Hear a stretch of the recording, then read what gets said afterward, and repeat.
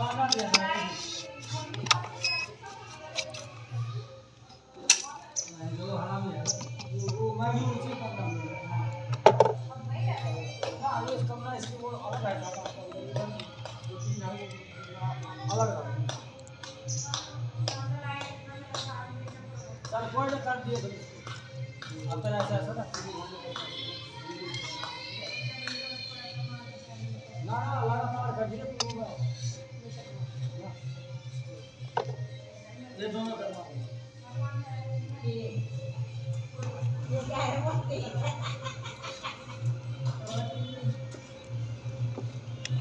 महालक्ष्मी में सही बोलो मामा जो बैठा है।